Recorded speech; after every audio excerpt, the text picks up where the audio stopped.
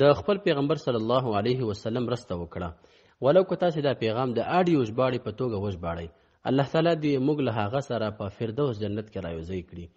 جهالت او بې عدالتي وه فرقې او ډلې وي شرک او ګمراهي وه همدغه رنګه حال و د الله جل جلاله په حکم سره نوی سحر راوختو او هغه رڼا چې هغې سره تیارې له منځه ولاړې، محمد صلی الله علیه وسلم یې راولېږلو.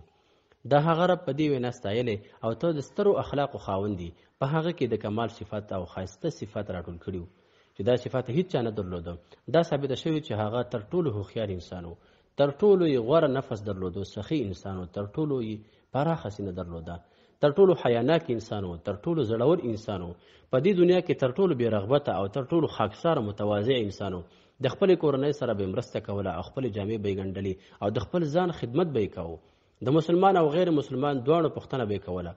خیر ته به یې دعوتول د ژبې په اعتبار سره یو رښتینی انسان و ثابت اصول انسان و تر ټولو عادل او په کمزورو تر ټولو زیات شفقت کوونکی د ښځو او ماشومانو لپاره ډیر انصاف غوښتونکی و د هغه مهرباني حتی حیوانات ته هم مشتمله وه یو عادل غیر مسلمان هم د هغه ستاینه کړې یو تن ویلي موږ د اروپا خلک د خپل ټولو مفاهیمو سره موږ تر اوسه هغه څه ته نه ورسېدلي چې محمد صلی الله علیه وسلم ورته رسېدلی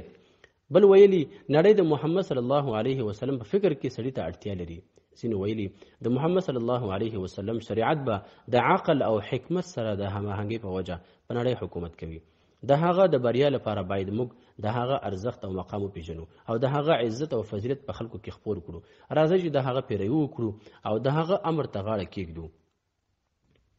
او د هغه د شریعت نه دفاع وکړو او د هغې نه شبهات دفع کړو خو د رسول الله صلی الله علیه وسلم لپاره نور غوروالی نه وي دا د هغه لپاره کافي دی چې هغه د خپل رب پیغام خلکو ته رسولی او خلکو ته خپل رب معرفي کړی دی ټوله نړۍ به د دې شکریا ادا نه کړي او نه به ټول بشریت هغه ته د دې بدله ورکړي ټول عمر یې خپل امت ته خیر رسولی په دې باندې هم اکتفا نه ده کړې بلکې د خپل رب څخه یې غوښتلي چې د خپل امت لپاره به د قیامت پر ورځ سفارش وکړي الله جل جلاله فرمایلی او موږ ته نه را لېږلې مګر رحمت لپاره د ټولو مخلوقاتو